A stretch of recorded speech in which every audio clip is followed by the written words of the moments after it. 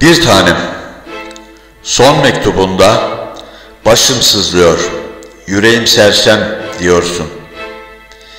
Seni asarlarsa, seni kaybedersem diyorsun, yaşayamam. Yaşarsın karıcığım. Kara bir duman gibi dağılır hatıran rüzgarda. Yaşarsın kalbimin kızıl saçlı bacısı. En fazla bir yıl sürer 20. asırlarda ölüm acısı. Ölüm bir ipte sallanan bir ölü. Bu ölüme bir türlü razı olmuyor gönlüm.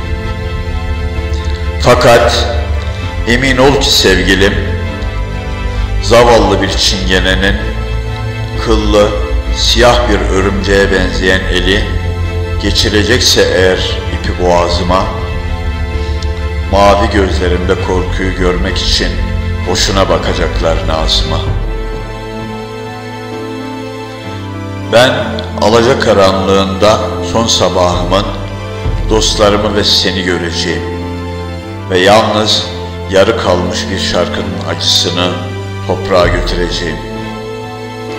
Karım benim, iyi yürekli, altın renkli, gözleri baldan tatlı arım benim. Ne diye yazdım sana istendiğini idamımın. Daha dava ilk adımında ve bir şalgam gibi koparmıyorlar kellesini adamın.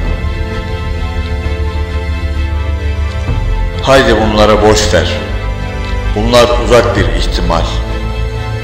Param varsa eğer bana fanila bir don al. Tuttu bacağımın siyatik ağrısı. Ve unutma ki daima iyi şeyler düşünmeli bir mahpusun karısı.''